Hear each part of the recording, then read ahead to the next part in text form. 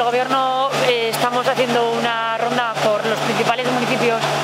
afectados, lo llevamos haciendo desde hace unos días, seguiremos bajando pues hacia la zona de Buñuel, Ribaforada para ver cómo están las cosas, para conocerlo de primera mano. Ya hemos convocado una reunión para mañana por la tarde a todos los alcaldes y alcaldesas de las zonas afectadas de cara a que podamos hacer una primera valoración de los daños. Y digo primera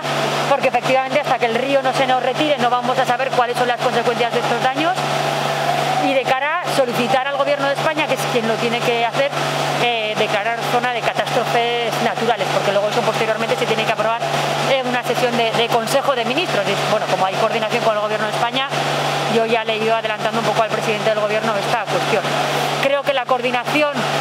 ha ido bien con sistema de alarmas con los alcaldes y alcaldesas que han podido avisar a sus vecinos de cara a que los daños eh, puedan minimizarse dentro de lo, de lo posible por retirada de vehículos también, como digo, y el buen trabajo de los alcaldes, las alcaldesas que han estado a pie de obra, de todos los servicios de emergencias y también de muchísimos vecinos, yo creo que también en Tudela ha pasado así, eh, que se han puesto a disposición para ayudar a, a sus vecinos, que es que eso es lo importante, esas, esas redes de solidaridad y de, y de voluntariado. Agradecer a la presidenta la visita a Tudela para que vea en primera persona pues bueno, el destrozo que ha hecho el, río Ebro. Yo creo que ya estamos, eh,